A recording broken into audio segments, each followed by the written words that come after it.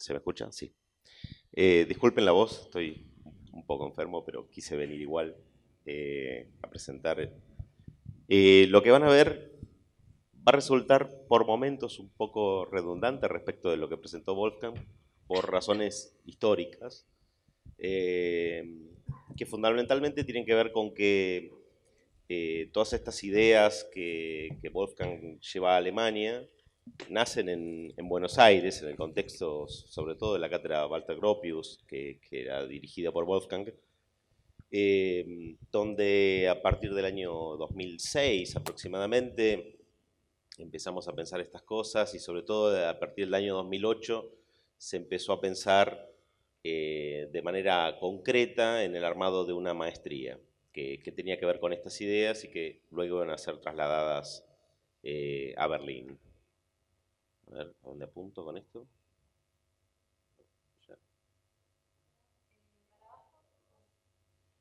Ahí.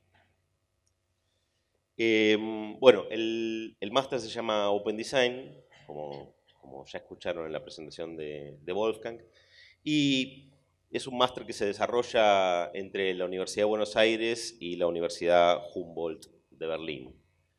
Eh, el máster tiene como directores eh, a Wolfgang Schaffner y, a mí.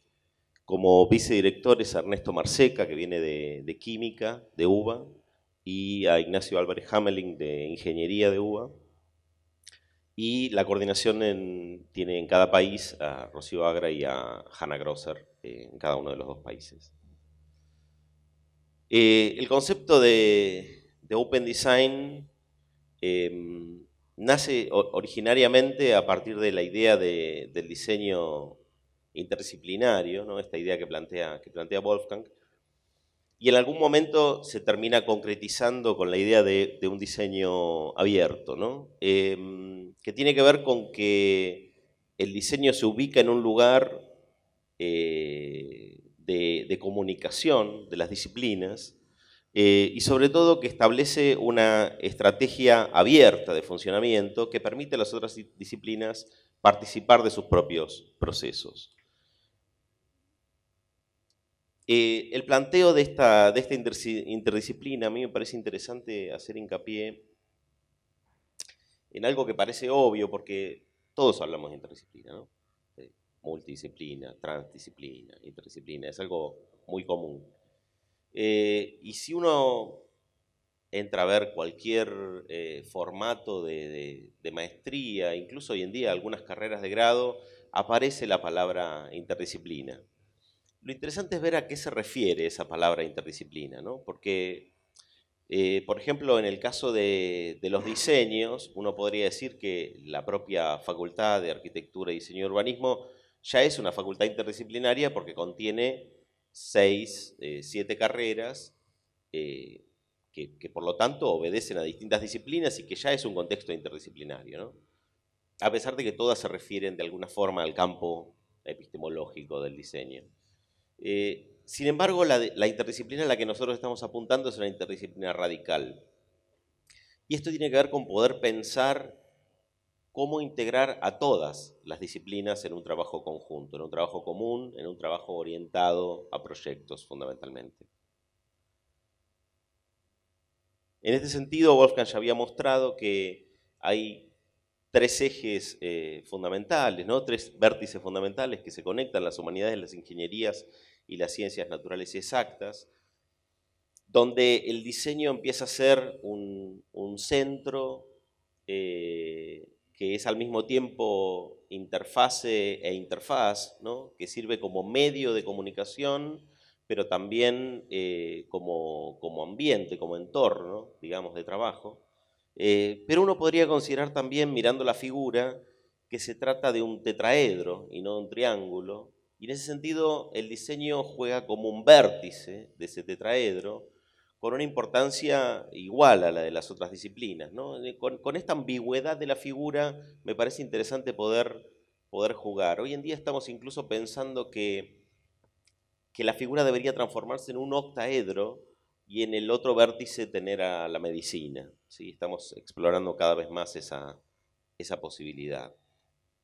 Em, bueno, Wolfgang ya habló del, design turn, ¿no? Em, lo importante acá es,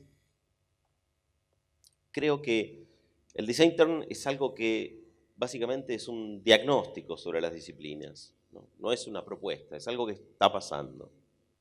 Es algo que está pasando fundamentalmente en ejemplos como la nanotecnología, la biología sintética, pero, pero que está pasando también en las humanidades y también está pasando en las ingenierías, está pasando en, todas las disciplinas, eh, a distintos ritmos y con distintos impactos sobre el propio campo disciplinar. Lo interesante acá es plantear cómo, eh, y tiene que ver con preguntas que se hicieron antes, plantear cómo es importante conservar la especificidad del conocimiento disciplinar con toda la flexibilidad posible en la transformación de ese conocimiento disciplinar, no, perder esa, esa especificidad de los conocimientos y al mismo tiempo potenciar esta interacción entre las diferentes disciplinas.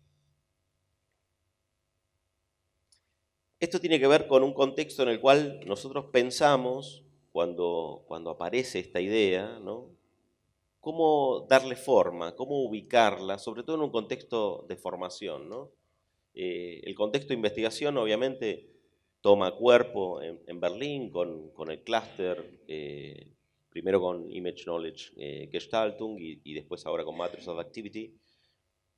Pero desde el punto de vista formacional, educativo, nosotros consideramos que justamente el trayecto de grado tiene que ser un trayecto que conserve una formación disciplinar, que pueda concentrar una especialización sobre determinados temas, una cantidad de conocimientos, de metodologías y de capacidades que tienen que ver con temas específicos, y que, en ese sentido el doctorado, por ejemplo, mm, tiene un rol similar de, casi diríamos de hiperespecialización, y en ese sentido se ubica la maestría como, como el lugar posible entre dos hitos de la especialización disciplinar para ubicar este campo de la formación de recursos humanos en la interdisciplina.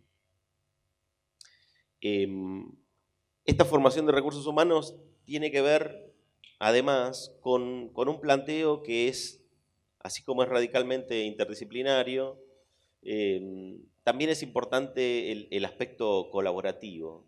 Y, y, en ese sentido, lo que se plantea es que no solamente los, los estudiantes puedan obtener una formación en, este, en esto que estamos trabajando como, campo del diseño abierto, sino que además la interacción entre, entre el equipo eh, docente también es una interacción fundamentalmente interdisciplinaria y por eso se arman equipos de docentes de diferentes disciplinas.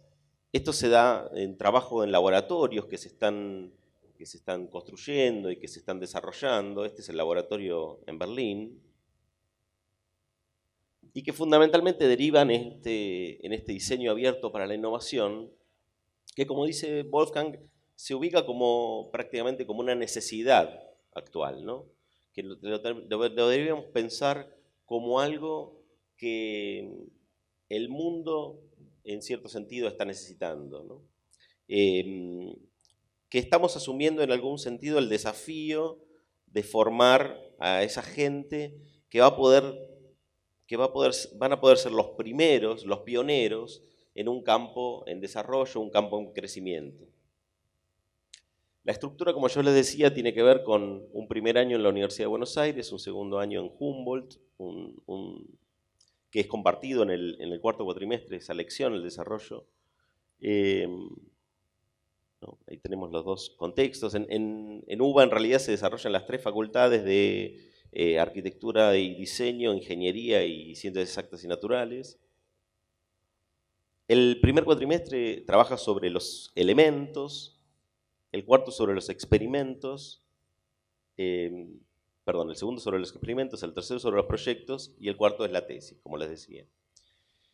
Em, les voy a mostrar muy rápidamente cuál es, cuál es esa estructura para que ustedes tengan, tengan una idea de cómo se implementa esto. Eh, esto tiene que ver, cada uno de los cuatrimestres se divide a su vez en eh, las estructuras espaciales, el estudio de las, tecnologías, de los medios tecnológicos, de las estrategias de diseño y en el laboratorio interdisciplinario, que es el lugar donde se realizan fundamentalmente las prácticas y donde se integran el resto de los conocimientos.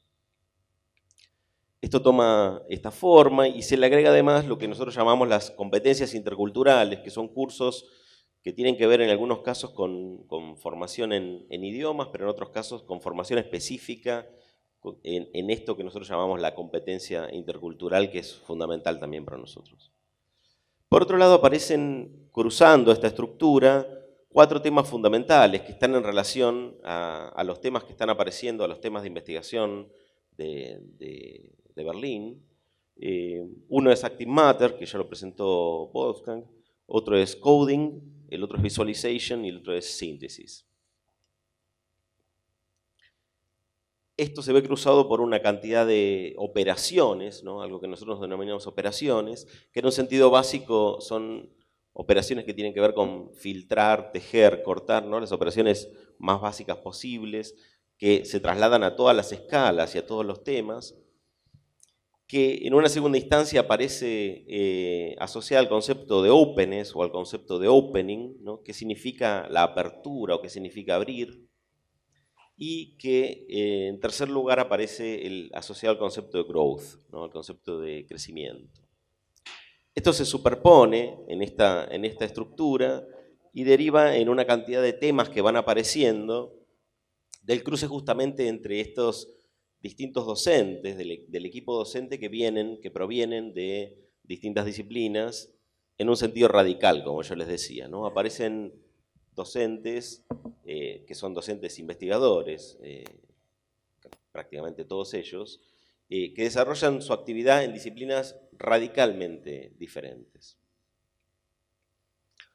Además, esto se, complementa con una plataforma online donde, desarrollan, donde se desarrollan los programas y donde se puede tener una interacción a distancia entre docentes y alumnos.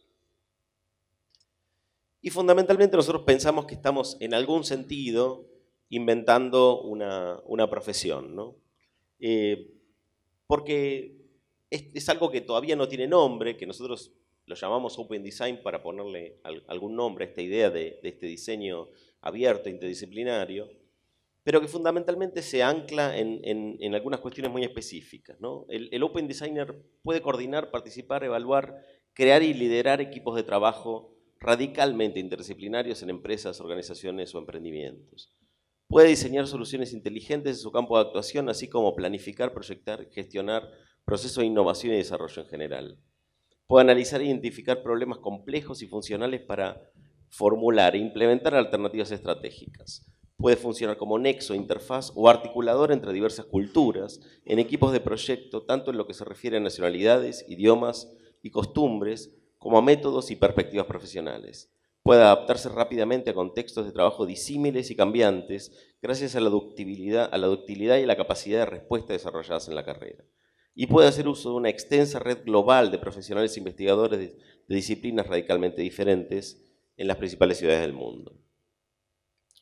Acá hay unos, algunos ejemplos de, la cohorte anterior que han recorrido el mundo con, con sus trabajos han desarrollado diferentes workshops, están desarrollando actualmente y entregando sus tesis de maestría. Muchas gracias.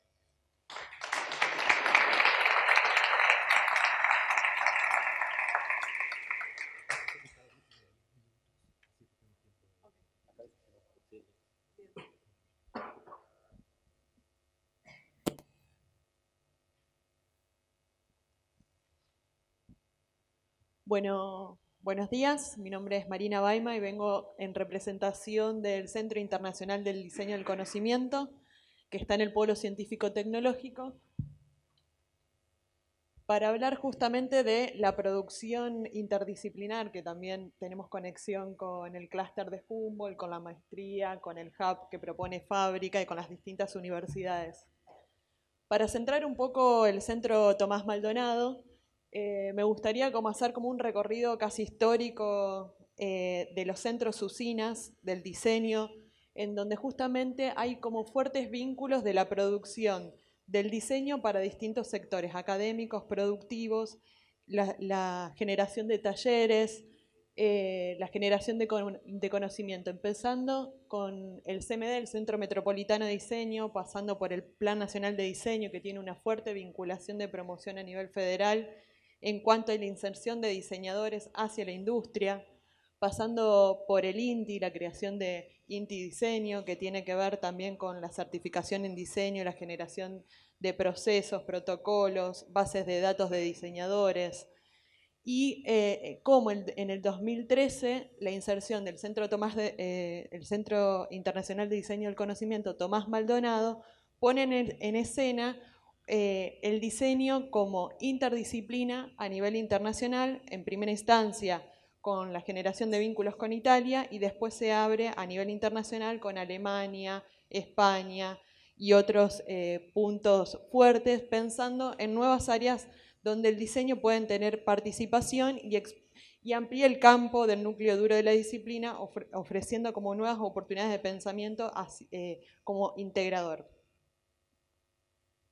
Las estrategias de organización, digamos, de, los proyectos del centro, que están en el polo tecnológico, donde actualmente hay más de 38 proyectos interdisciplinarios, se centran básicamente en el emprendedurismo, eh, con Bion, una aceleradora biotecnológica de Rosario, en la génesis de los materiales aplicados básicamente desde las oportunidades que generan las materias primas en Argentina, como podemos empezar a ser competitivos y generar nuevos materiales, como hablaban recién, a partir del aprovechamiento desde eh, ese insumo vivo, eh, desde el desarrollo productivo, trabajando en clústeres industriales, parques industriales, con el sector juguetero, plastiquero, con el escenario de las oportunidades que nos dan las biorefinerías y el agregado de valor en productos como la soja.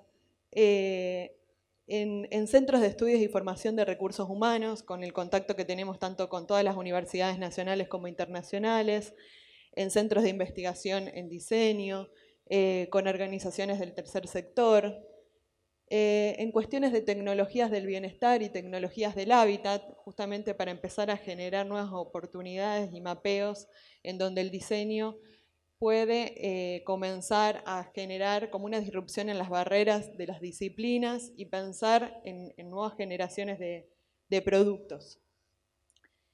El Centro Tomás Maldonado está eh, en el I4, que son eh, los institutos interdisciplinarios internacionales de innovación, donde hay cinco institutos que tienen que ver con distintas áreas focales. Ahí se ve como el CIECTIC, el Cibioba, o sea, están como distintos centros y, se, puede ver al centro Tomás Maldonado, justamente que es el que tiene como las más eh, apropiaciones de vínculos que tienen que ver con la generación de conexiones transdisciplinares.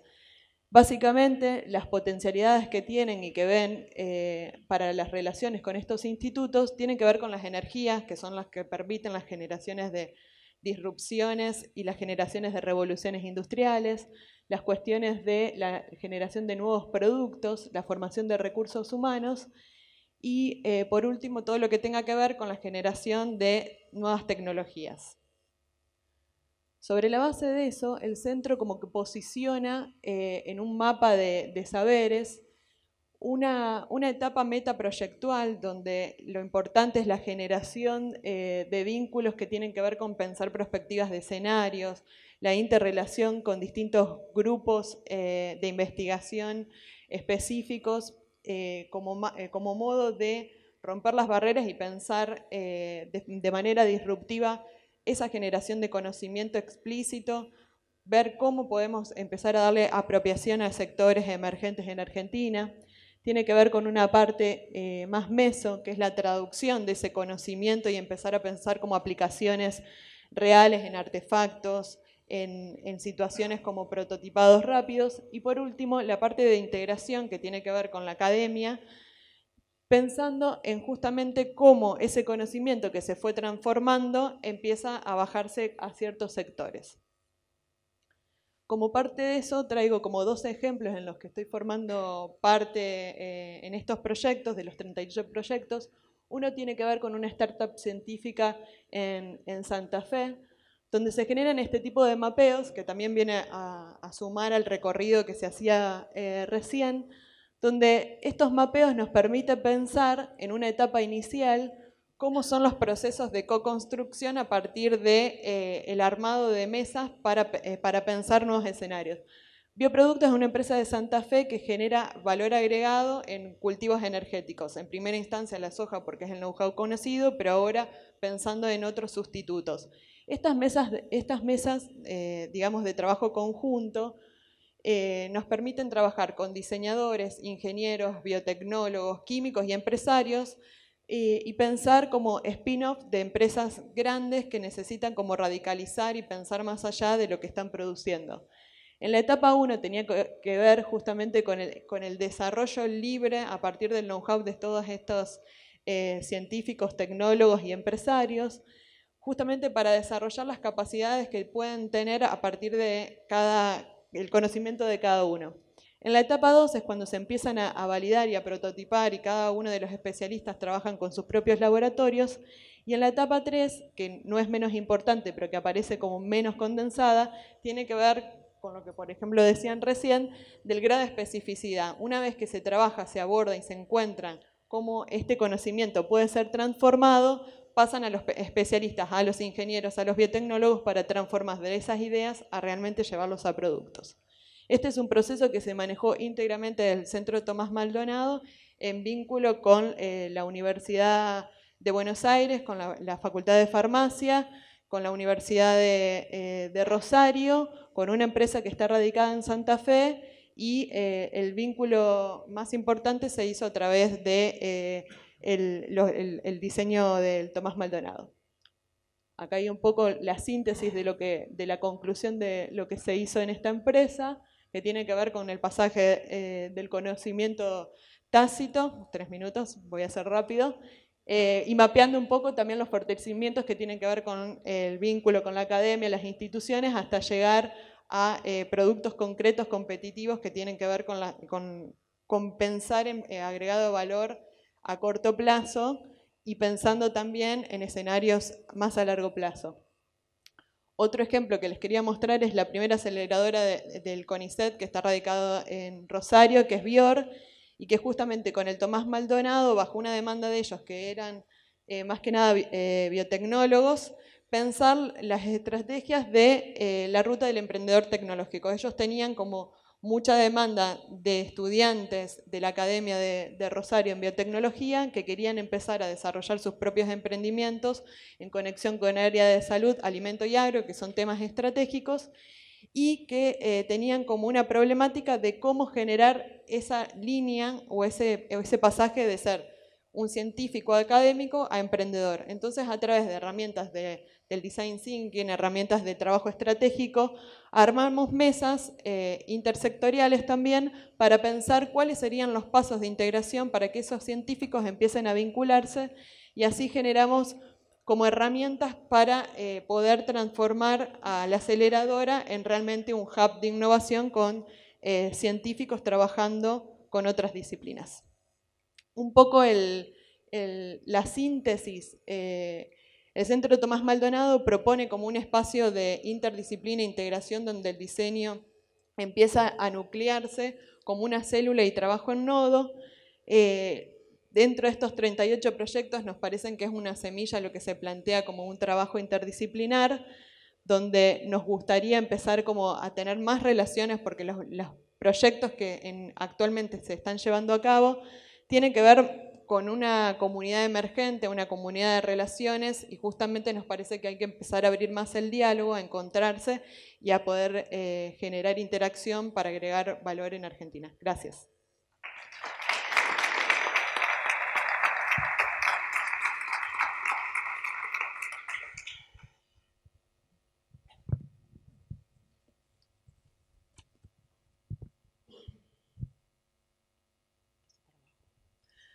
Hola, ¿qué tal? Buen día. Mi nombre es Natalia Nupieri.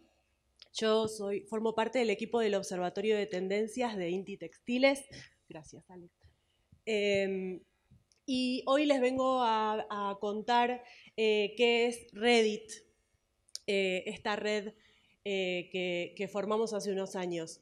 Eh, el, INTI trabaja tradicionalmente en el desarrollo de la industria, en el desarrollo y la promoción industrial y la innovación.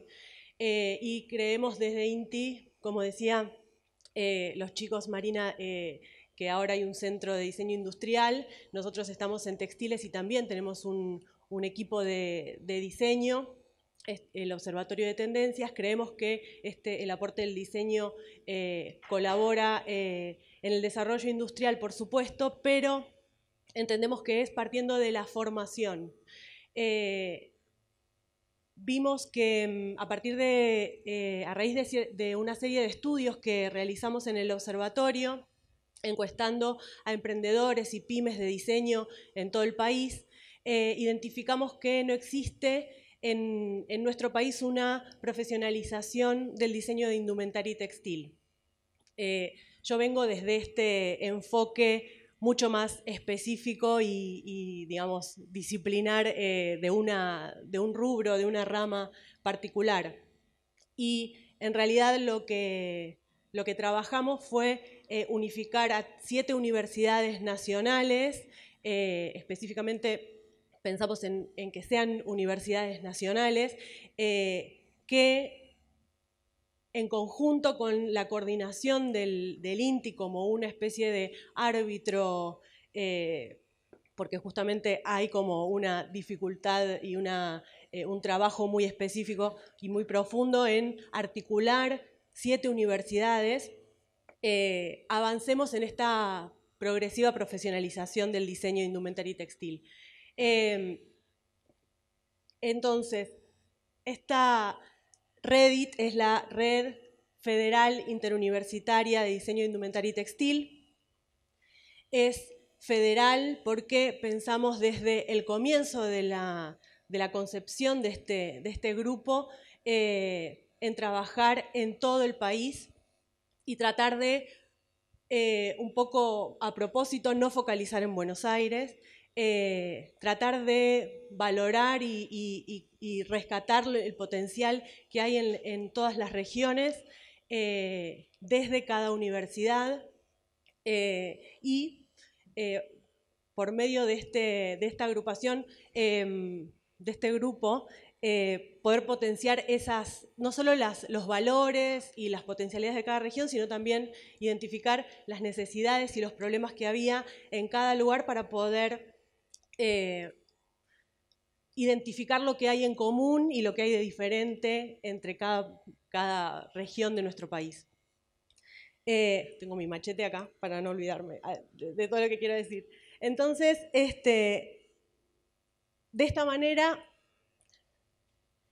hablamos de interuniversidades, que es un concepto clave para nosotros porque eh, el trabajo con las universidades nacionales es realmente eh, arduo. Eh, todos hablamos de trabajo colaborativo y, es una interdisciplinar, es son conceptos que nos, nos convocan a todos hoy en día y realmente cuando se lleva a la práctica sobre todo eh, trabajar colaborativamente entre pares, eh, que son todos, digamos, referentes de las distintas universidades, es eh, una, tarea que está poco aceitada y estas instituciones realmente son muy rígidas y es como, ese es el trabajo mayor que, tenemos, el de trabajar entre, entre universidades focalizando siempre en el diseño de indumentaria y textil, que es nuestra, nuestro rubro, eh, sobre todo viniendo esta convocatoria desde el INTI. Y este es el, concepto clave, la idea más importante y el mayor desafío que tenemos, eh, y nos llevó mucho tiempo eh, y muchos debates poder ponernos de acuerdo, poder aceptar eh, la mirada de los otros, poder abrir y compartir eh, los conocimientos, no solamente poner en la mesa los saberes de cada universidad o las maneras de hacer, sino también los problemas, los baches, las cosas que no pueden realizar, que muchas veces eh, eso no se quiere compartir con el resto. esta, esta situación, este trabajo que venimos haciendo desde 2013, eh, la verdad es que fue bastante como remado, pero tuvo frutos en muchas acciones. Y como muchos de los proyectos de los que se vienen hablando, y estoy segura que todos los que, muchos de, de, ustedes también participan en proyectos así, la clave son las personas y no tanto las instituciones, por más que representan a las instituciones, si no damos con las personas eh, que tienen las ganas y, el compromiso, eh, muy poco se puede hacer. Entonces, eh, algunas de ellas están acá, Florencia, Mariela, Alejandra, María Alejandra, María Blanca, Nidia, Moriana y una foto del grupo de uno de los encuentros que hicimos. a Reddit la componen siete universidades nacionales y la coordinación del Observatorio de Tendencias desde Inti Textiles. Las universidades son la UNL de Santa Fe, la UNAM de Misiones, la UNCJ de San Juan, eh, la Universidad de Mar del Plata, la Nacional de Mar del Plata, la UNT de Tucumán, eh, la UNOVA de Pergamino, gracias, eh, y, de, y Córdoba, la Universidad Nacional de Córdoba.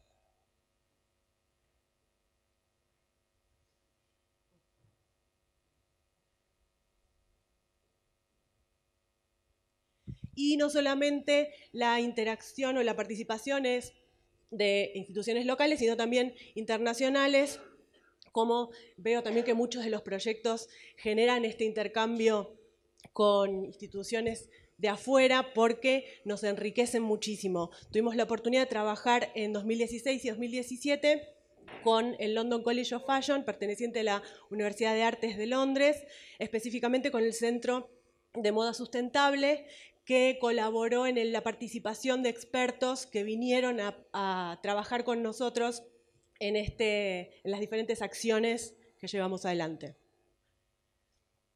Eh, las áreas en las que esta red que existe desde 2013 eh, se desempeña son en formación, intercambio e investigación.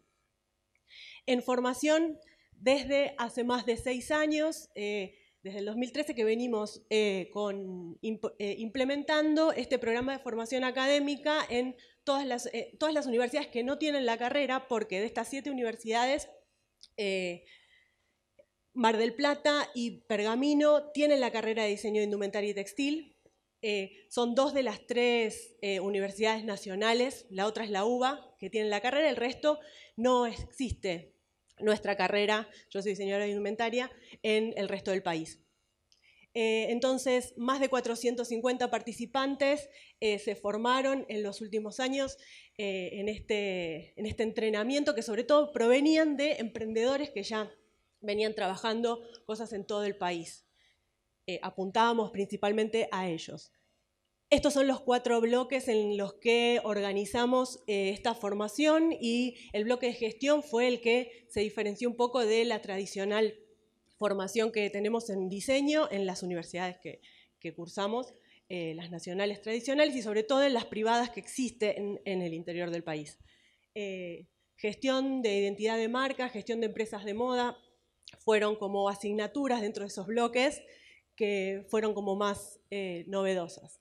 A raíz de este trabajo, en 2018, o sea, este año ya hay una tecnicatura en diseño indumentaria y textil en curso en la Universidad de Tucumán, que surgió a partir de todo este trabajo que fuimos haciendo y el año que viene va a haber una tecnicatura en la Universidad de San Juan, también orientada a diseño indumentaria y textil. Las carreras de grado son mucho más complejas, como todos los que están en universidades saben, de llevar adelante, eh, y en general eh, surgen más tecnicaturas y carreras de posgrado, como la que también está planificada para el año que viene en Córdoba, eh, que está orientada a sustentabilidad.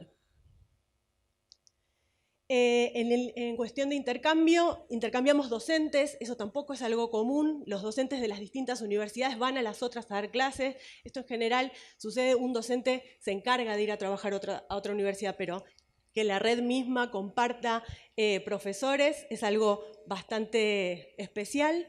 Eh, realizamos mesas de trabajo en cada universidad, intercambiando información, un poco también lo que contaba Marina con la industria, con distintos eh, otros actores intervenientes en el rubro.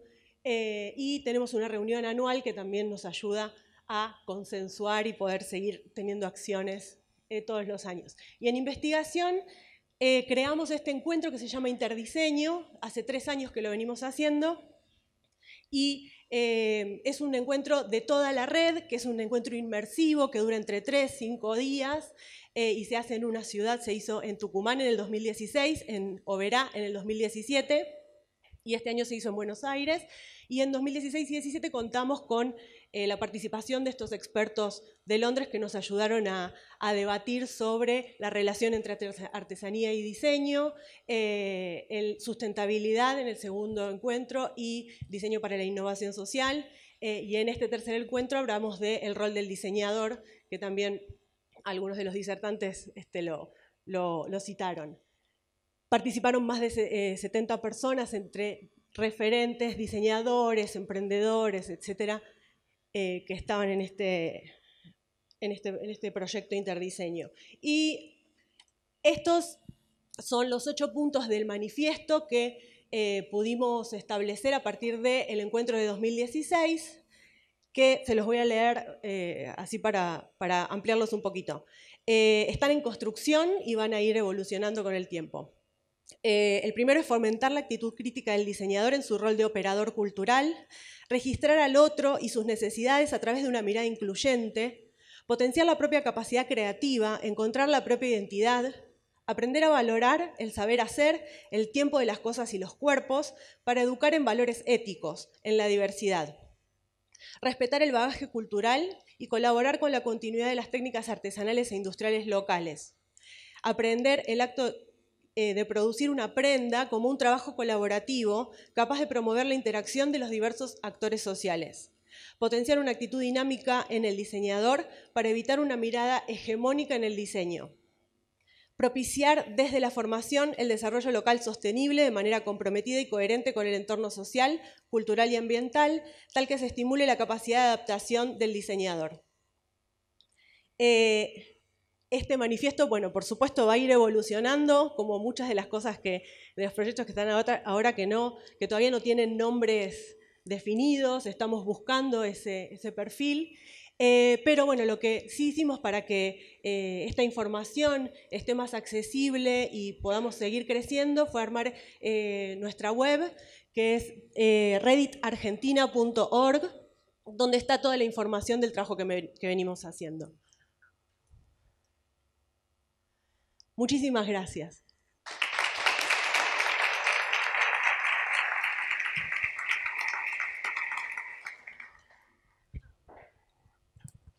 Hola, buenos días. Bueno, parece que eh, la institución a la que represento yo en el día de hoy aquí en esta mesa es el bicho raro, ¿no? Porque eh, estamos, eh, estoy acompañado de representantes de instituciones muy grandes del sector público, nosotros somos un porotito así de chico, del sector privado,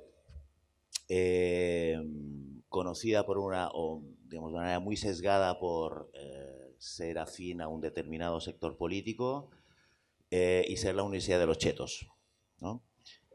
Eh, básicamente porque somos la universidad más cara del país.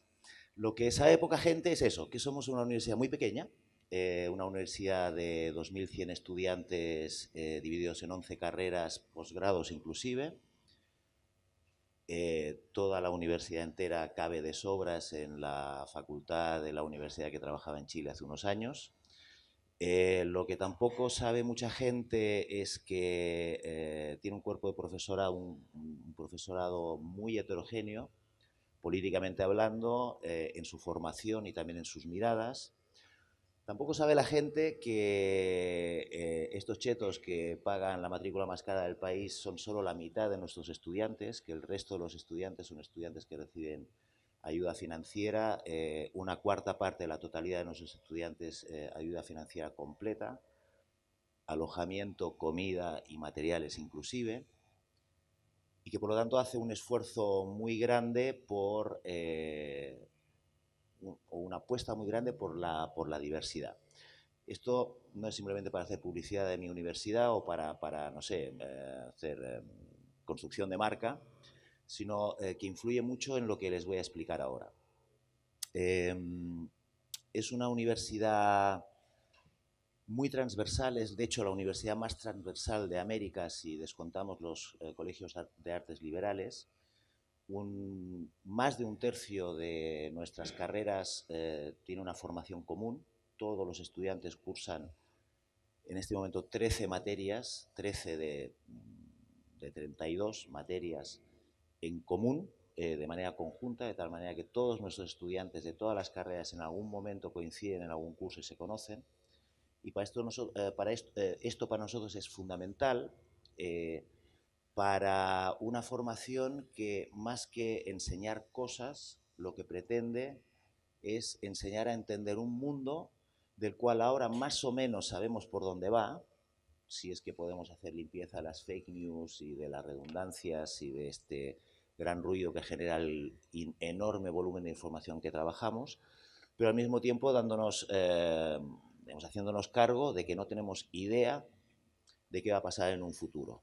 Y ya no hablo de un futuro dentro de una generación, sino que hablo de un futuro dentro de 5 o 10 años, es decir, en el momento en que nuestros estudiantes que ahora están empezando a estudiar, terminen de estudiar y salgan al mercado. Con lo cual, nos importa bastante poco qué enseñamos, o qué cosas enseñamos, y en cambio nos importa, eso sí, mucho eh, que los estudiantes aprendan a enseñarse a sí mismos, porque esta será la manera que cuando salgan de la universidad puedan seguir adaptándose de manera continuada a los cambios tan disruptivos con los que nos tenemos que enfrentar y que ellos se van a enfrentar todavía mucho más que nosotros. Em, innovar no es un sistema, no es un método, sino que es un traje a medida, creemos nosotros. No se innova a partir de determinados principios, sino que se innova en función de determinadas circunstancias, en determinados tiempos, en determinados lugares y para determinados, vamos a sujetos, instituciones o sujetos, personas. Y se innova innovando. Y esto puede parecer de perogrullo, pero eh, si entendemos la innovación como inventiva puesta en manos de un usuario, innovación no es simplemente inventar algo, eh, sino conseguir que este algo termine eso, eh, siendo usado de alguna forma y transformando la realidad de alguna forma. Por lo tanto, no es un pensamiento, sino que es una acción, lo cual nos lleva a tomar una cierta distancia con respecto a esta cosa del design thinking, el famoso design thinking, como si los diseñadores nos sentáramos a pensar. Eh, si somos actores de la innovación, Evidentemente que tenemos que pensar, pero fundamentalmente tenemos que actuar y lo más difícil tenemos que poner a actuar a otros, que no siempre es fácil. Si es difícil cambiar nosotros eh, como sujetos o como disciplina, como, como, como, yo que sé, sector profesional, imagínense, eh, imagínense hacer cambiar el mundo. ¿no? Eh, y claro, ahí hay que considerar que las condiciones de la innovación pues, varían mucho de un lugar a otro y de un tiempo a otro. Eh, no sé si conocen eh, un hermoso libro de hace más de 50 años de Norbert Wiener que se llama eh, Invention, the Care of and Feeding of Ideas, un libro que lo lees hoy en día después de casi 60 años de que se, se, redactó y sigue siendo completamente válido. Y él habla de las condiciones de la innovación, el clima intelectual, los, los inventores, los innovadores, los sujetos innovadores, los romeos que llama él, el clima tecnológico y el económico, que eh, son el aparato, lo que él llama el balcón, ese Romeo que llega al balcón a buscar a Julieta, y el clima social, eh, ese clima que, eh, pues bueno, si no está dispuesto a cambiar, ya podemos hacer lo que queramos, que no va a cambiar. ¿Se acuerdan del Walkman, el famoso Walkman? Bueno, cuando le preguntaron a la gente si querían un Walkman, la gente dijo que no. Dijo que no. Nos lo podemos imaginar hoy en día. El Walkman se llegó a construir porque el CEO de, Sony en aquel momento era jugador de golf y melómano y dijo, esto es lo más, puedo escuchar Mozart mientras juego al golf, me hagan unos cuantos a ver qué pasa. Y ahora ahí sabemos lo que pasó realmente con el, con el Walkman. Em, Argentina, entendemos nosotros, es un país de Romeos con muy poco balcón. Un balcón que tiene que, tiene que reforzarse mucho. Y más en los tiempos que están corriendo justo ahora mismo, mejorando lo presente, como dicen en mi tierra, porque eh, tanto en la UBA como, como, ustedes en el Centro Tomás Maldonado, como ustedes en el INTI, que bueno, son, ustedes los conozco menos, a ustedes, digamos, sus instituciones las conozco hace muchos años, están haciendo un excelente trabajo, pero lo cierto es que no solo de universidades y no solo de INTIs vive eh, el balcón, ¿no? sino que requiere de muchísimos más actores trabajando de manera concertada, con lo cual nosotros dijimos, bueno, siendo el sector privado un porotito así de chico, eh, bueno, pues apostemos por los Romeos, ¿no? Formemos, formemos a gente que pueda trabajar acá y en, defecto del balcón, de que pudiera no haber balcón o menos balcón en un futuro, pues que puedan trabajar en cualquier lugar, pero que lo hagan desde acá y que lo hagan fomentando el tejido productivo local eh, un tejido productivo que si bien viene un poco maltrecho, sí que tiene ejemplos excelentes de empresas que tampoco son tan grandes y que producen todo tipo de productos de manera muy exitosa, exportando pues, el 80, a veces el 90% de su producción. ¿no?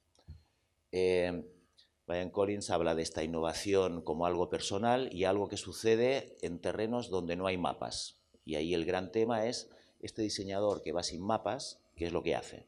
Y vamos a entender como diseñador el que hace artefactos, pero también este diseñador que piensa como diseñador, como decía eh, Wolfgang anteriormente, o que actúa como diseñador.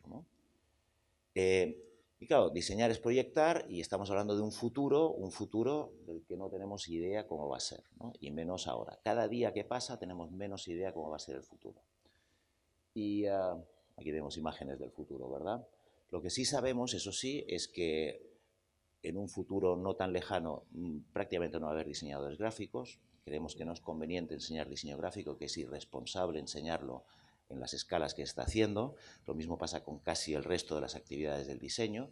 No solo el diseño, eh, ayer eh, con un compatriota de, de, Wolfgang estábamos en un taller de escenarios futuros y estaba hablando del problema de Volks, del grupo Volkswagen y qué va a hacer con su medio millón de ingenieros y de mecánicos en ocho años más, medio millón gente, eh, pero sí sabemos que vamos a estar más superpoblados, más contaminados, eh, vamos a tener más conflictos sociales, eh, y que se van a producir splits ¿no? entre quien apuesta por, por, el contacto con la naturaleza, quien apuesta por la alta tecnología, quien apuesta por el ambientalismo, quien le da lo mismo, eh, quien apuesta por el cobijo de las marcas internacionales, vas donde sea y te encuentras algo conocido, o quien eh, se desmarca de todo esto y eh, se convierte en una especie de anticonsumista. Y ante todo este quilombo, nosotros lo que planteamos es una carrera que más que centrarse en artefactos, en objetos en concreto, es una carrera trans, de transdisciplinario, de transpuesto a la transposición en la música, no pasar de un tono a otro, transcultural, transportado, es inter, intercultural, internacional, inter, entrelazado, eh, y es una carrera de diseño punto. No es de diseño gráfico, no es de diseño industrial, no es de diseño de interiores, diseño punto. Donde el foco no es el artefacto, sino que es el escenario de uso en el que se manejan una serie de usuarios que hacen que aquello con lo que tenemos que, interactuar los diseñadores es fundamentalmente complejidad. Y le dimos la vuelta al paradigma este constructivista de la Bauhaus, rescatando la mirada 360 de la Bauhaus. Eh, le dimos la vuelta como un calcetín a, esta mirada constructivista del diseño tal como se ha enseñado desde Bauhaus y que se sigue enseñando hoy abocando a los estudiantes desde el primer día a la complejidad, sin que sepan nada de morfología, de dibujo, de fotografía, de semántica, de nada, de nada, de nada, los mandamos a la Plaza de Mayo y les pedimos que vuelvan con usuarios, con problemas, con oportunidades detectadas y que decidan sobre base de esto qué proyecto van a desarrollar, que puede ser cualquier cosa. Puede ser un sistema de información, puede ser una app, puede ser una intervención física sobre la plaza, puede ser cualquier cosa. Eh, entendiendo lo que vayan a hacer como una intermediación entre el usuario y este escenario de uso. Sí que tenemos una especialización, que es ser expertos en ciclo de proyecto. en saber cómo opera el ciclo de proyecto y poderlo aplicar a cuantas más actividades del diseño mejor. Y esto nos lo inventamos nosotros, hace muchísimos años que existe en los politécnicos y en las universidades en el norte de Europa, en Estados Unidos, que es la educación hands-on. Cosa que se piensa, cosa que se prototipa. Y para eso desarrollamos unos, unos laboratorios que estos sí que son un invento, porque los laboratorios son de gráfica o de, de, digitales o mecánicos, etc. Nosotros dimos un laboratorio que tiene de todo, desde fabricación aditiva hasta eh, el típico perno de toda la vida, desde textil hasta uso de metales, hasta metálicos eh, y todo el aparato digital, eh, sistemas inmersivos inclusive. Aquí nos... Ah, y el gran invento fue poder armar todo esto prácticamente desde la nada. Somos muy chicos, nos dedicamos a administrar la miseria y armar unos laboratorios con la miseria de este tipo, la verdad que fue, esto sí que fue una proeza. Eh, nuestra sala audiovisual cuando estaba construyendo, nos inventamos el sistema de audio, nos inventamos el sistema de vídeo, lo diseñamos y lo construimos con nuestras manos porque no nos podíamos gastar los 100.000 dólares que nos pedían los proveedores. Entonces teníamos 6.000 y con 6.000 lo hicimos. Eh, aquí tienen nuestro taller mecánico, solo les voy a mostrar dos imágenes. Ven esta silla que se está construyendo allá, esto es una silla. Y bueno, les hablaba de prototipar y de probar, ¿no? Bueno, aquí tiene al profesor viendo si era verdad que dentro de la silla se podían guardar un montón de cosas y se metió ahí dentro, ¿no? Eh, funciona. Eh, esta es nuestra sala audiovisual, que no está sonando aquí, no, no, tengo el vídeo puesto. un escenario futuro, cómo será la publicidad en el futuro cómo se iría manifestando en el futuro y lo que ven ahí eh, en el centro es cómo ha sido la publicidad hasta ahora. Eh, fotografía, textil, más textil, un cobijo para un futuro incierto, una hamaca arropada por las manos, ¿no? las manos de la familia, experiencias de participación ciudadana en la Plaza de Mayo, qué hacer con las rejas, bueno, vamos a decidir nosotros, preguntémosle a la gente, ¿no?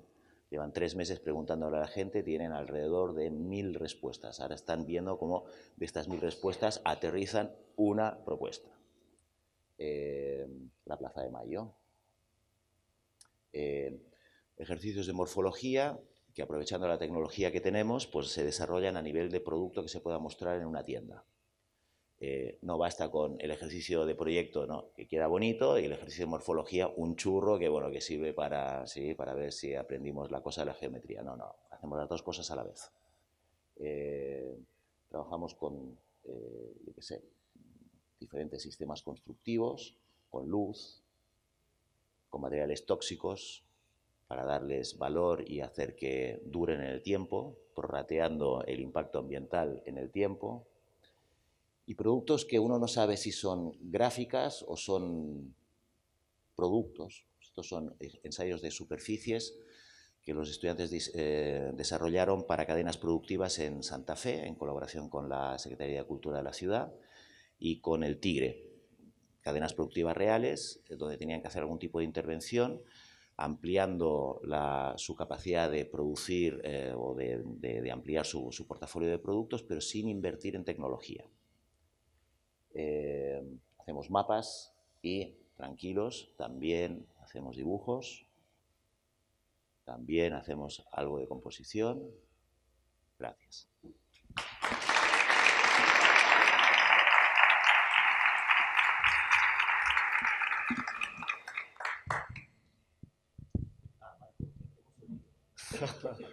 Muy bien. Bueno, eh,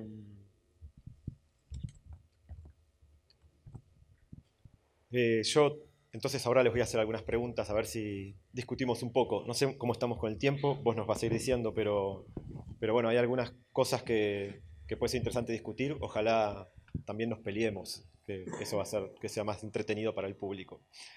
Em, yo pienso en algo que Alex, vos recién un poco contabas, pero, pero me interesa también a ver qué dicen los demás. Eh, que tiene que ver con, un tema que a todos los que estamos involucrados en el diseño, sobre todo en la educación, nos interesa en este momento. No sé por qué estamos coincidiendo con este interés y tiene que ver con el diseño en mutación. Eh, creo que todos estamos bastante de acuerdo en que las disciplinas proyectuales eh, no se ejercen hoy como hace 10 años atrás. Incluso lo que nosotros estudiamos cuando estudiamos diseño era muy distinto a lo que estudian nuestros, nuestros estudiantes. Y, y, vemos que los cambios son cada vez más rápidos. Em, el otro día me enteré, por ejemplo, que Vitruvio escribió su libro de arquitectura en el siglo I a.C.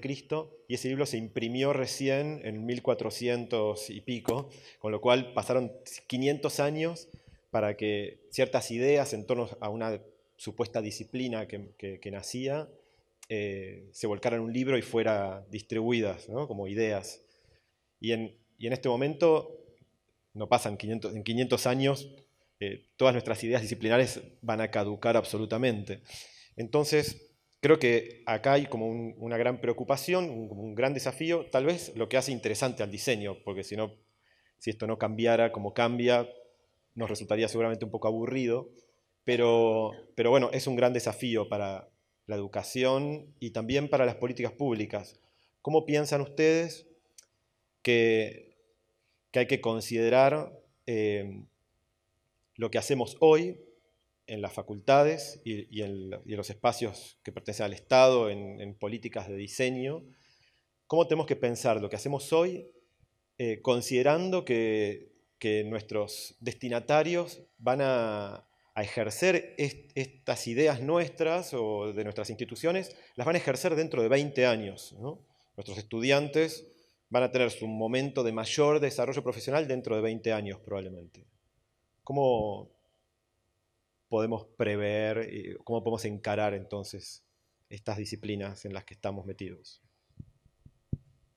Si quieren arranco, ya que tengo el micrófono. Para mí tiene que ver, o sea, con pensar nuevos paradigmas, o sea, como que el diseño está asociado mucho a la materialidad, un campo bastante lineal de pensar el producto, y creo que justamente hay que pensar en, la formación de los nuevos pensadores, diseñadores o no diseñadores, en cuestiones que tienen que ver con las problemáticas prospectivas o que no tienen que ver con la objetística, o sea, con las sillas, o sea, ya hay un montón de sillas inventadas, hay un montón de cuestiones resueltas, sino en la forma de encarar la problemática, o sea, empezar a hacer como esas relaciones del pensamiento, o sea, aprovechar eh, la creatividad del diseño, las herramientas que nos dan para plasmar una idea y poder darle como una cierta objetividad a ciertos conceptos abstractos. O sea, creo que tiene que ver con la labor de formar pensadores que puedan ser abiertos, curiosos, que tengan como la visión del, ver, eh, de nutrirse, de, de, siempre estar como informándose, o sea, tener la capacidad de el asombro, la investigación y, de pensar de manera prospectiva, abierta, colaborativa, o sea, cuando por ahí nombraban el tema de pensar la indumentaria en los cuerpos o pensar en la diversidad, eh, pensarlo desde ambientes mucho más abiertos, o sea, creo que tiene que ver con, con pensar eh, posiciones reales y, problemáticas reales que nos, nos, enfrentan como sociedad más que como individuos, o sea, pensar en, en campos más amplios. Eh, sí, yo coincido eh, con, lo que dijo recién y, también con, lo que se dijo antes en, relación a, a cómo eh, formar para, el diseño y para la innovación en un sentido que tiene que ver con, enfrentar la complejidad. pero, sin embargo, creo que hay una cuestión que que tiene que ver con, la capacidad de, enfrentar eh, lo desconocido, lo, disruptivo, aquello que, te saca de, eje, em, que, en algún, que en algún sentido está presente en la, formación del diseñador. Em, yo creo que, que va a ser importante, y no casualmente estamos hablando de esto en este contexto, ¿no? Creo que va a ser importante eh, cultivar el perfil del diseñador en un sentido amplio eh, para el futuro, que eso no quiere decir que todas las disciplinas se van a convertir en diseños, eh, pero sí que va a ser importante en, un futuro donde ya estamos viendo que la robotización y una serie de, enormes de, cambios tecnológicos van a cambiar todo nuestro contexto. ¿no? Creo que para eso es, fundamental pensar en escenarios futuros, como, como se estaba diciendo recién, em, pero al mismo tiempo explotar algo que yo creo que el diseñador ya tiene eh, incorporado en su disciplina, pero de una manera quizás tácita, quizás no, no explícita, que es em, su posibilidad de ficcionar.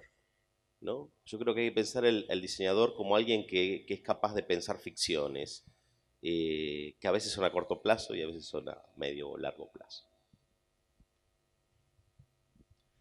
Eh, bueno, yo puedo aportar que en el trabajo que estamos haciendo con la red estamos en plena contradicción constante y, y el hecho de que no existan las carreras eh, específicas de la disciplina en estas grandes universidades nacionales eh, también nos enfrenta ese desafío de, pensar el rol de este diseñador de dentro de 20 años.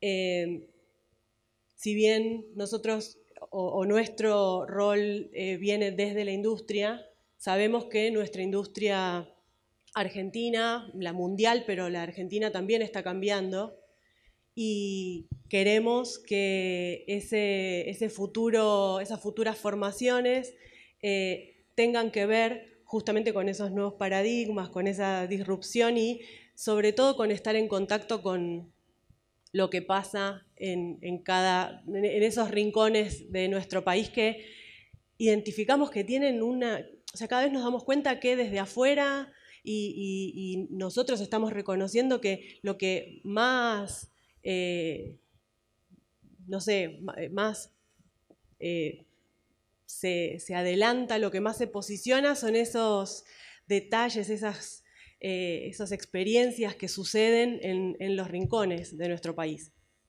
Ese, ese potencial queremos que los futuros diseñadores lo puedan tomar, puedan pensar en, en una producción, en esto, ¿no?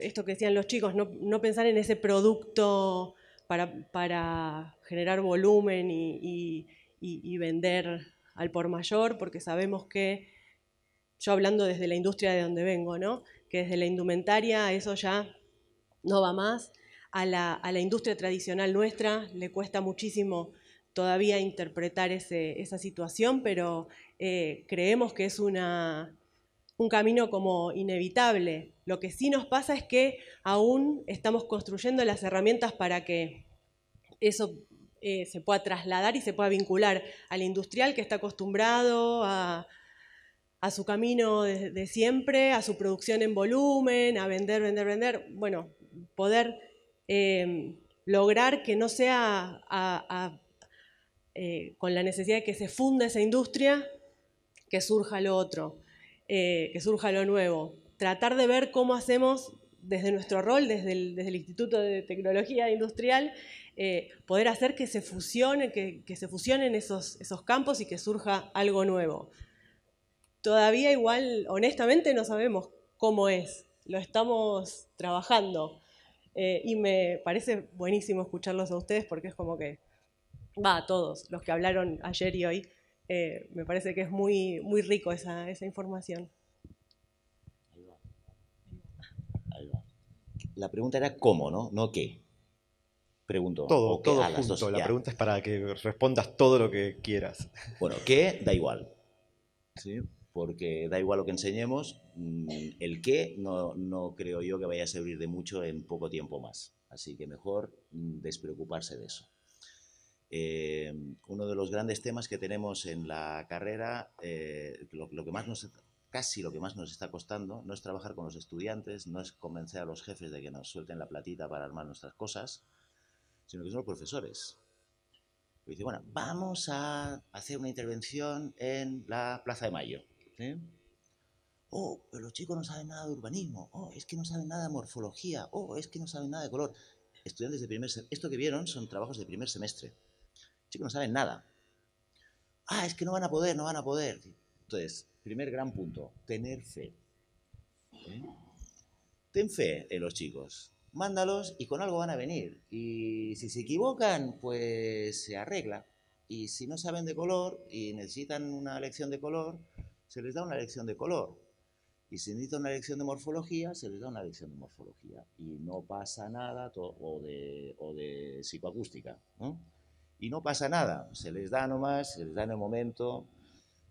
Este no es el tema. Bueno, el tema es, digamos, que el profesor entre en este, en este formato de pensamiento, claro, y luego también que entienda que el aula no es que haya un aula y aquí hay un taller y luego está el patio y luego está la realidad. No, no, no, no. Es toda la misma cosa. Eh, nosotros tenemos evidentemente espacios discriminados porque no es lo mismo trabajar con madera que con textiles y no es lo mismo sentarse a pensar que sentarse a cortar un madero, ¿no? Pero todos los espacios están en el mismo lugar, están todos interconectados y uno entra y sale en clase, una clase de proyectos, estás trabajando con el profesor, te vas al lado, modificas tu prototipo, vuelves, es toda la misma cosa, ¿no? Eh, ahora, tú yo creo que viste en el clavo, o sea, lo más importante de todo. Lo más importante de todo es que este diseñador tiene que hacer cosas que le hagan sentido a la gente. Y para eso tienes que poderles explicar una historia que la gente entienda. El famoso storytelling. Y si no es capaz de hacer esto como diseñador, no es capaz de generar una visión, ni con tu cliente, ni con tu usuario, ni con nadie, ni contigo mismo. Con lo cual, esto es lo primero y la base de todo, la base de absolutamente todo. Entiende cuando vas a un lugar cuál es la narrativa de ese lugar, qué te está contando ese lugar, qué te está contando la gente, qué les puedes contar tú a ellos. Y al final, esta es la gracia del mundo, encontrarnos y conversar, intercambiar, eh, generar empatía, eh, aprender el uno del otro. Esta es la gracia. ¿Y qué, qué es un taller de diseño? ¿no? Es eso, nos sentamos a conversar, nos sentamos a aprender el uno del otro. Y una cosa que es clave es despreocuparse de enseñar tanto y poner el foco en la clave de todo esto, y es que sea el estudiante el que te enseña a ti. Nosotros llevamos una lección eh, X y el estudiante a la hora de rendir la lección nos da el 100%, obtiene un 6. Si quiere un 10, el otro 40% lo tiene que poner él o ella. Nos tiene que enseñar algo. Pero la clave es el storytelling y tener fe. Bueno, muy bien. Em, hay muchas cosas que me, interesaría preguntar, pero sé que no vamos a poder hacer un, debate muy largo. Pero eh, antes, escuchando a Wolfgang eh, Schäffner, lo dije bien el nombre, como se dice en alemán, Wolfgang, em, me quedó la sensación de que estamos en un momento en Latinoamérica donde el diseño en Europa nos mira un poco, eh, tal vez mucho más que antes. Y, creo que todos cargamos siempre con, una, eh, con, una incomodidad acerca de, que muchas, un par de décadas atrás se nos llamaba la periferia.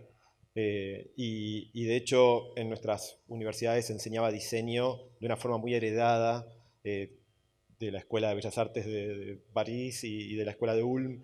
Em, y, todos hemos sido muy críticos de eso. ¿no? Em, ¿Qué piensan ustedes acerca de esta situación ahora? Eh, estamos por fin en una etapa donde el diseño en Argentina es un diseño más localizado, es el diseño a nuestra manera, o todavía seguimos siendo una periferia que hereda de formas de hacer las cosas.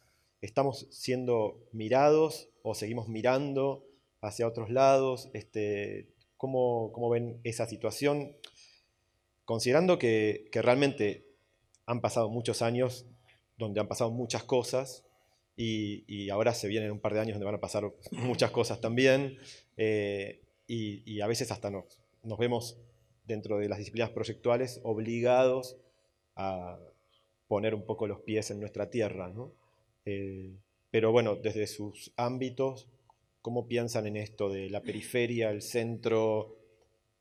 Si heredamos, miramos o, finalmente podemos hacer algo propio? Em, por un lado creo que hay, que una cuestión que, que, ya se nombró varias veces, lo, cuento Wolfgang, lo comentaste vos también, que tiene que ver con conectarse a, a, los contextos, a los entornos, a los recursos, a las prácticas eh, locales para aprender de eso, eh, entendiendo que ahí hay una inteligencia, que ahí hay un saber y que ese saber hay que, hay que aprovecharlo. Eh, que es un saber desarrollado en muchos casos durante cientos de años. Y por lo tanto, la capacidad de adaptación que tiene ese saber a una realidad concreta, a un contexto concreto, eh, generalmente es muy, es muy fuerte, muy sólido. Por otro lado, ese aprendizaje ¿no? parece, parece contradictorio porque se ve enfrentado con un mundo que cambia constantemente. Entonces, ¿no? ¿Cómo, aprender de esas cosas que están hace 200 años y al mismo tiempo enfrentar un mundo que cambia constantemente? Creo que, para eso, mm, en algún sentido, habría que, pienso yo, evitar cierta falacia, digamos, o cierto falso problema que tiene que ver con pensar la identidad desde la nacionalidad. Eh, porque en el fondo las naciones son un invento del siglo XIX, sobre todo las latinoamericanas y la diplomacia británica, y no, o sea, ¿qué tiene que ver con nosotros en el fondo eso? Eh, yo no sé si eso nos sirve para algo, si hay un diseño argentino, ¿no? Como esa pregunta. Yo creo que no. Yo creo que en el fondo nosotros tenemos que pensar eh, lo local y lo regional encarnado en prácticas, encarnado en, cuestiones que son muy concretas del entorno y del contexto y no en, construcciones identitarias culturales. Y en ese sentido yo creo que somos muy fuertes em, o que tenemos la potencialidad de ser muy fuertes en el panorama global porque tenemos mucho, tenemos mucho para dar, tenemos mucho para aportar, tenemos la inteligencia, pero también tenemos unos contextos eh, que yo creo que van a ser fundamentales en, en la pugna global de los próximos 50 años. Cuando nombrabas centro, periferia, yo pensaba que en realidad ya estamos inmersos a nivel global en cuestiones de diseño e innovación. Sí pensaba que en muchas ocasiones uno mira por ejemplo, en todo lo que es desarrollo biotecnológico, biorefinerías, agregado valor a cierta materialidad viva. Mira lo que está sucediendo en Alemania y cuando uno lo quiere trabajar en el territorio te das cuenta que en volumen somos totalmente distintos. Entonces, si bien uno hace perspectiva tecnológica, vigilancia tecnológica y sigue mirando qué sucede en otros centros de investigación científico-tecnológicos, conocer eh, las capacidades y conocer el territorio y conocer justamente cuál es nuestro know-how eh, nos permite generar y entender eh, hacia dónde tenemos que ir para ser competitivos. Entonces, en ese sentido, creo que estamos en un camino de entender lo que está pasando a nivel internacional, ver eh, qué tecnologías o qué paradigmas y encontrar los propios para poder generar un, un, valor. Creo que estamos en esa instancia de reconocer que tenemos capacidades, tanto materiales como de pensamiento, y empezar a, hacer como una co-construcción sobre, sobre eso.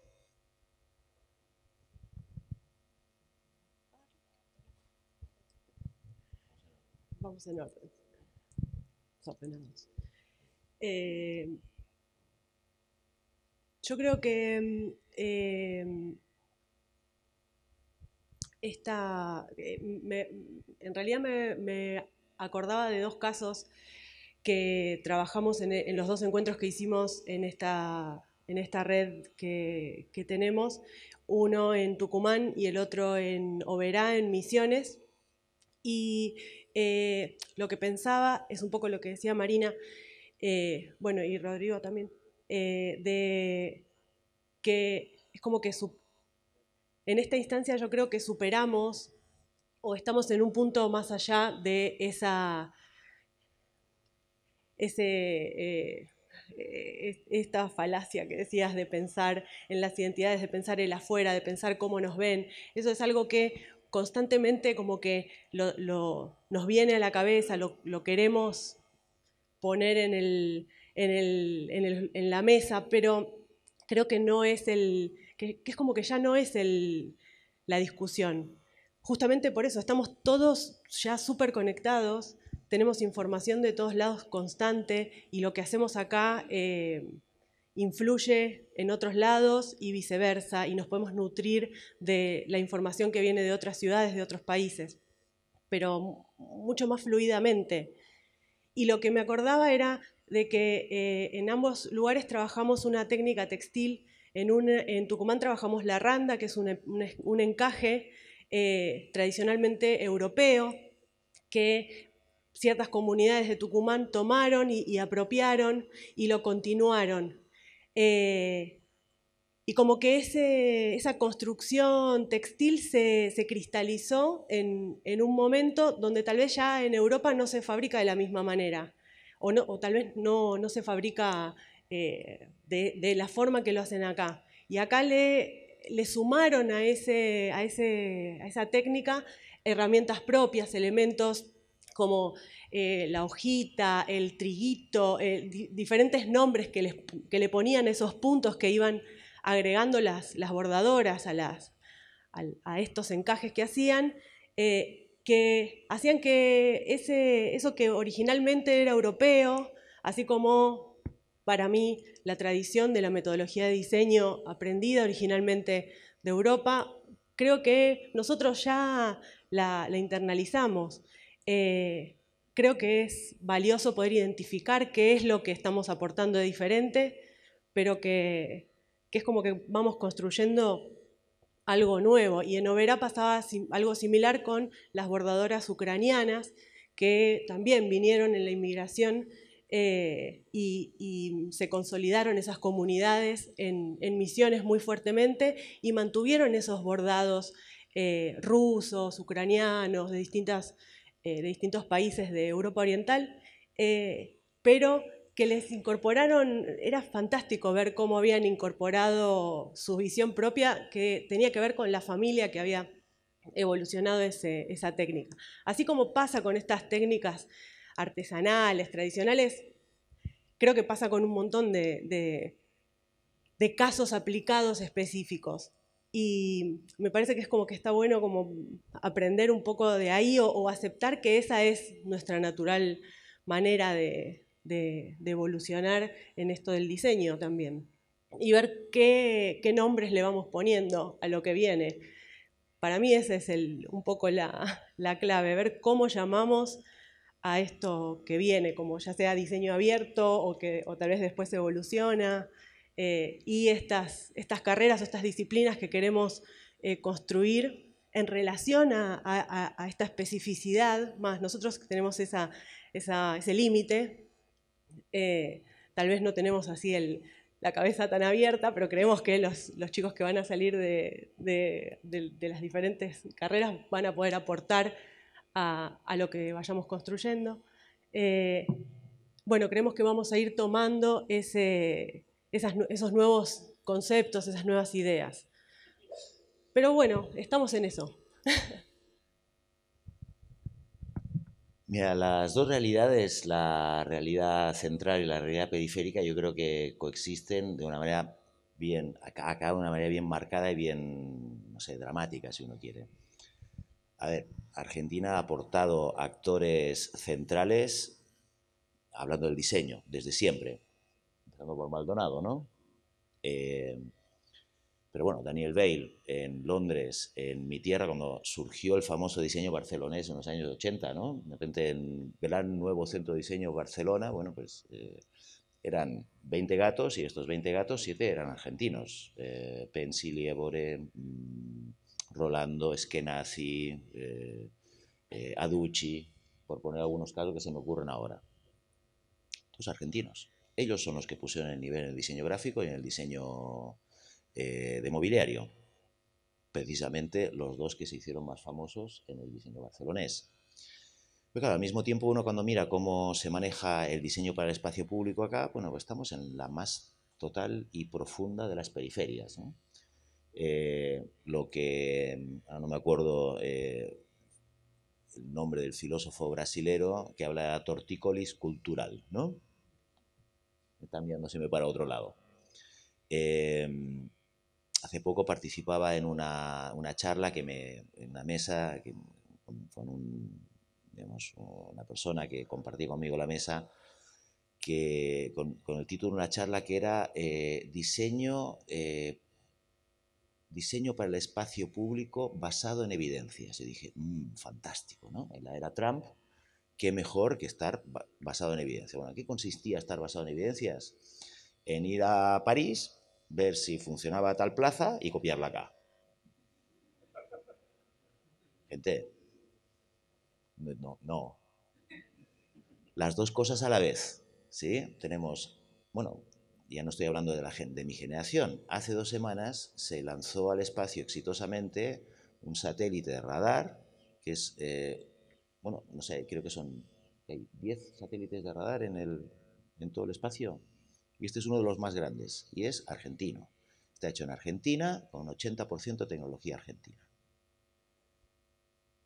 Eh, el señor Satellogic, ¿no?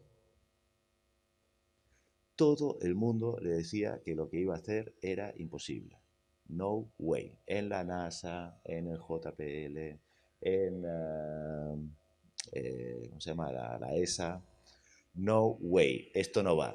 Dijo, ¿cómo que no? Vamos a la ferretería, compramos las cosas, las armamos, le ponemos un montón de papel de aluminio y para arriba. Ahí están. ¿Sí? Y van a lanzar 300.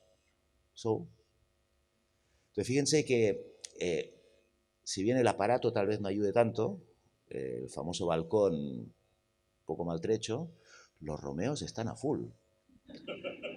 A full. La pregunta es, ¿se, preguntaron dónde está Julieta en todo esto? Bueno, les dejo, les dejo la pregunta ahí lanzada para ver si algún día podemos hacer una mesa sobre Julietas. ¿Dónde está Julieta en la innovación? Pero bueno, el caso es que los Romeos están ahí. Y bueno, tal vez tengamos que aprender más que del aparato, tengamos que aprender de los Romeos y tengamos que inspirarnos en ellos. Y ojalá que nuestros chicos se conviertan en nuevos Romeos, que trabajen aquí o trabajen donde sea. A mí, en principio, me da lo mismo. Un argentino influyente en Suiza o, o en Milán, para mí es tan importante como que esté influyendo acá en términos de, vamos a llamar, reconstrucción de marca país o de creación de un tejido, de un tejido social y de un también de todo lo que tiene que ver con los, con los, con el amor propio, no sé. Eh, se puede hacer acá, se puede hacer en cualquier otro lugar. Y por tanto, pensar solo en clave, cuando hablamos de identidad, solo en clave de identidad local, me parece una equivocación. Creo que en esta identidad global nosotros somos un actor más en interacción con otros, somos un actor altamente contaminado y mestizo, lo cual es un gran privilegio en el mundo que corre especialmente y es una ventaja competitiva. Eh, el mestizo es el que al final sobrevive, tarde o sobrevive. Eh, como dicen en Chile, el perro quiltro, ¿no? el perro de calle. Es el que agarra todos los bichos y sobrevive. Y el perro de raza, ese tan no sé cuántos, ¿no? Le sale un grano en el... y, se muere. ¿Cierto? Estamos inmunizados eh, y curados de espantos, además. Así que, ¿qué más, qué más queremos? ¿Cierto? En un mundo en crisis, eh, esto de la periferia, yo no sé si es tan válido. Se ha precarizado. En Alemania se ha precarizado el trabajo tanto como acá estamos en otras circunstancias, pero el, grado de precarización en educación, en eh, salarios, etcétera, en mi tierra en España, en tu tierra en Alemania, no es tan distinto que acá. Nos quejamos mucho, pero no es tan distinto. El mundo está igual de mal en todos lados por igual, con lo cual, ¿dónde está la periferia? Visto así. Bueno, Gracias por ese mensaje tan esperanzador, Alex. No sé si, no sé si te lo vamos a creer este, a ciegas como vos te imaginás, pero bueno, igual fue lindo escucharlo. ¿Será que un español les tiene que decir a ustedes esto? ¿O que ayer tuviera que mandar eh, callar cuando se pusieron a reír eh, mis alumnos y mis colegas cuando el ponente alemán dijo que Argentina podía perfectamente en un tiempo más ser la segunda economía del mundo. Y todo, ja, ja, ja, ja, ja. Los tuve que hacer callar yo. Gente, un poquito más de fe. Bueno, eh, hace cinco minutos vi un cartel que decía que nos quedaban cinco minutos. Em, así que eh, yo no, quisiera que cerremos este panel sin que alguien del público pueda decir algo si quiere decirlo. No, propongo una pregunta porque no vamos a tener tiempo para una respuesta, pero si alguien quiere hacer un comentario, de 30 segundos, lo puede hacer. Hay, hay un comentario de 30 segundos. bueno, perdón, acá parece que... Hola. No, lo que pensaba es en esta cosa, un poco que decías, Rodrigo, que esto era para, para el posgrado. Yo pienso que es para la primaria. O sea, desde dónde empezar a pensar proyectos, porque todos tenemos la capacidad de imaginar, la información ya está. ¿Qué hacemos con tanta información? ¿No? Un poco ese sería mi comentario, nada más. Gracias. Bueno, yo, ya que soy el moderador y tengo mucho poder, porque tengo un micrófono en este momento, me voy a tomar el atrevimiento de cerrar este, este, este momento que hubo de, de discusión y voy a decir solamente una cosa creo profundamente en que dentro de, las reflexiones en torno a nuestras disciplinas proyectuales, cualquier consideración que, alguien crea como una verdad absoluta puede ser un gravísimo error. O sea, no hay nada dentro de las disciplinas proyectuales que se pueda considerar de una manera eh, determinada, indiscutible, definitiva. Este, por eso también es interesante todo lo que podemos discutir acá adentro y, y por eso eh, estar en desacuerdo con algún enunciado es de las, eh, de las consecuencias más sanas que nos pueden suceder. Em, y seguramente también por eso siempre vamos a seguir contando un poco lo que estamos haciendo y, preguntando y respondiendo y, debatiendo. Em, pero bueno, felicitaciones a los cuatro por el trabajo que realizan.